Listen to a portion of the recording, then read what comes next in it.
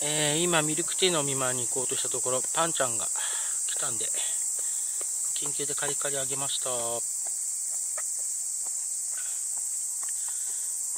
さっきねボランティアのリーダーさんが来た時はいなかったんで朝もいなかったし食ったか？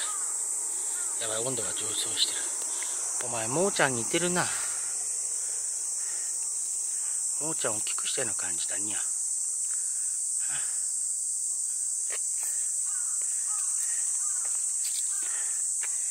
ではこれからミルクティーのお見舞いに行ってきます。